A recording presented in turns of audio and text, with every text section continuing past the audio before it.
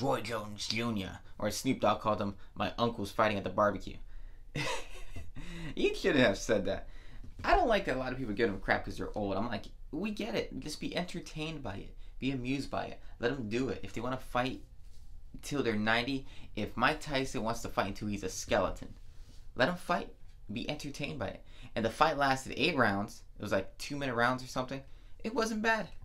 It wasn't bad at all. It was a very average fight. If it was if it was anybody else and wasn't them, people would be calling it like an average fight. They'd be like, yeah, it was fine. And I thought it was fine. Mike Tyson got some great shots in there. Roy Jones Jr. could dodge pretty much everything, but he couldn't dodge those body shots. You can't punch him in the face. You can punch him in the freaking gut.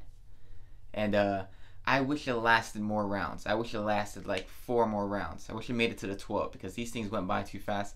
And I was just like, Tyson, he's going for that knockout. He's like, oh, he's a heavy hitter. And Roy Jones is like a little doo doo doo doo guy. But it was decent.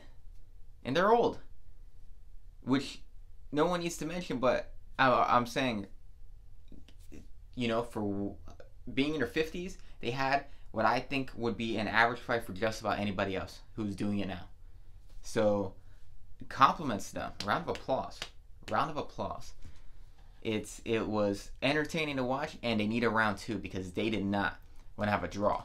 Not to mention they picked the winner, but they picked it on the stage outside of the ring because apparently since it's an exhibition match, they're not allowed to have a winner inside the ring.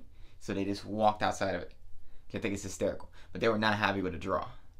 And it, it's I can understand how they got a draw because it was pretty pretty even. But also I feel like the judges were also inclined to give them a draw because they don't want to you know pick a side on an exhibition match and they said they weren't going to do that. So rematch. I hope so. And if they do have a rematch, all you people shaming them for being old, you know, just don't watch it people like me, very entertained by it. I want to see more of it.